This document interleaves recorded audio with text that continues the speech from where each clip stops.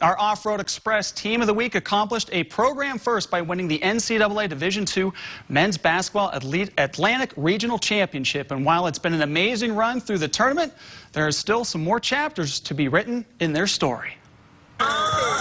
When the Mercyhurst men's basketball team captured the program's first ever regional championship last Tuesday, the Lakers did so with defense by eliminating number two IUP and then shutting down the top scoring team in the country in West Liberty. I think our defense kind of contributed to our offense. We were not letting them get many second chance opportunities. Coach, uh, one of our assistants told us they had, I think, eight offensive rebounds in the first half. So just getting limited for one possession, us getting out on the break, we kind of did a great job of what Coach said, finding the times to attack the pressure and finding times to kind of bring it back out. I think we did well with that balance on that run. On Wednesday afternoon, the Lakers will face an undefeated Northwest Missouri State squad in the national quarterfinals.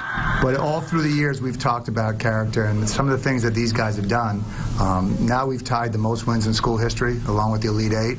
Um, everything they get from now on and what they've gotten from now up to now, uh, I have never been around a classier group of young men that deserve it.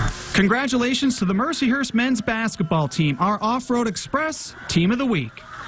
Team of the Week is brought to you by Superstore Joe at Off-Road Express. Nominate your team on the contest page at yourerie.com. Get out and play.